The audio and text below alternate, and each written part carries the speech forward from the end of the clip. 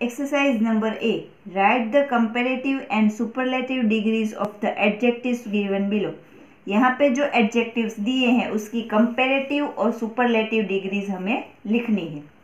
First number clear तो clear की comparative degree होगी क्लियरर पीछे क्या ऐड होगा? ई आर कंपेरेटिव डिग्री में मोस्टली क्या ऐड होता है? ई e आर और सुपरलेटिव डिग्री में क्या ऐड होगा?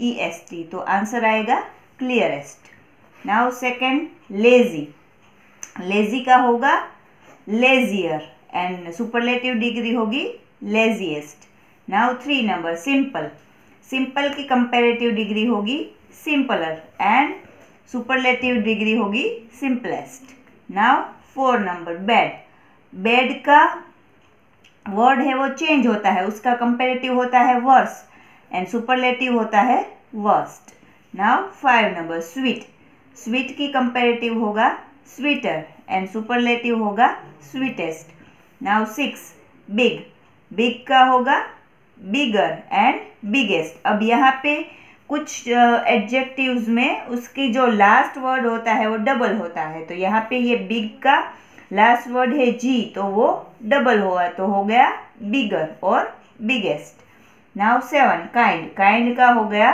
काइंडर एंड सुपरलेटिव हुई kindest now eight narrow narrow की कंपेरेटिव डिग्री होगी नेरोवर एंड सुपरलेटिव डिग्री होगी narrowest now rest of the sentences is your homework